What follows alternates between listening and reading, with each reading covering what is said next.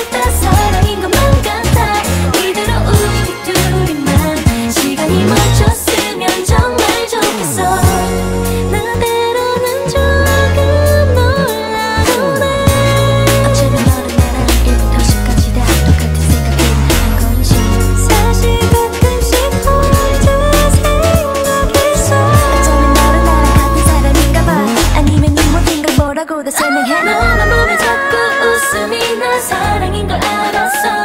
포개진 두손 사이로 네 맘이 빠짐없이 다 느껴져.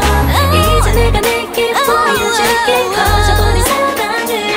특별할 건 없겠지만